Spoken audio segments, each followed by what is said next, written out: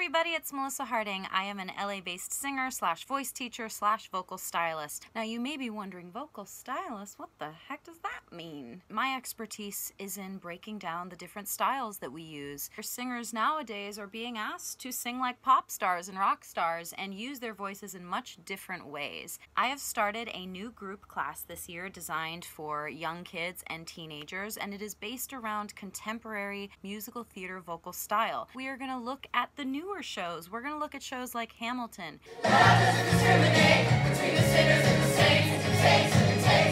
Dear Evan Hansen.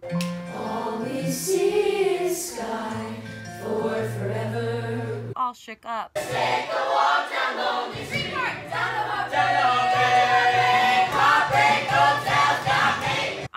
My students to understand what it means to switch around between these styles, figure out the timing, figure out the momentum of these songs. So if you are interested in booking this class for your performing arts school, your high school, your middle school, wherever, feel free to email me at melissahardingmusic at gmail.com to book a day for your students to work on their contemporary musical theater and sing some Hamilton with me. Thank you so much. I look forward to hearing from you.